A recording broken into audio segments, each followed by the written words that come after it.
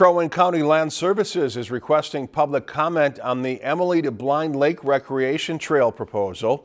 If approved, this new trail would be a multiple use recreational system located within and east of the city of Emily in Crow Wing and Aitkin counties.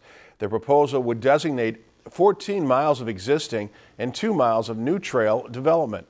According to the Crow Wing County Comprehensive Plan, this trail would provide diverse recreational opportunities that are accessible to people of all ages and abilities. Written comments may be mailed to Crow Wing County Land Services.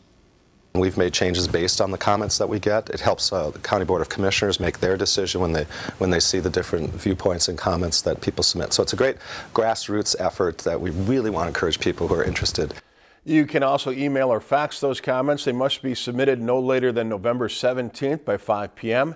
Contact details and more information on the trail proposal can be found at the Crow Wing County website you see on the screen. If you've enjoyed this segment of Lakeland News, please consider making a tax-deductible contribution to Lakeland Public Television.